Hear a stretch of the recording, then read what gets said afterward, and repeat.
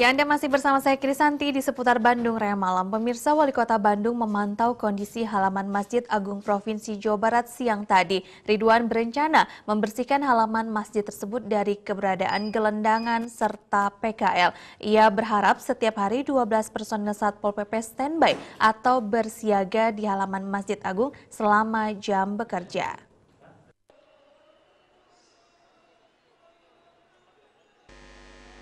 Halaman Masjid Agung Provinsi Jawa Barat, tepatnya di depan Pendopo Bandung, sering kali dipenuhi pedagang kaki lima dan gelandangan. Selasa siang, Ridwan Kamil dan Odet Daniel pun memantau halaman Masjid Agung Provinsi Jawa Barat.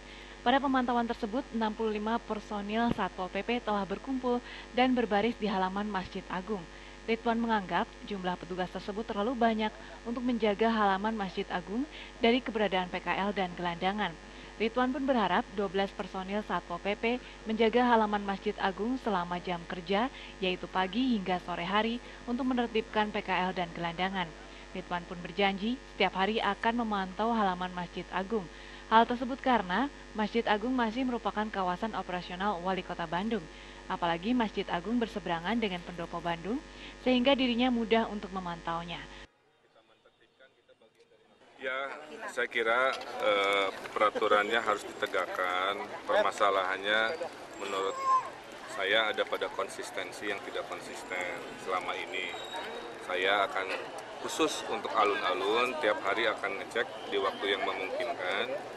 Kesatu karena pendopo ada di sana, kedua ini masjid yang harus eh, dijaga kebersihan dan terbebas sesuai perda yang udah ada di pelang di depan sana ya.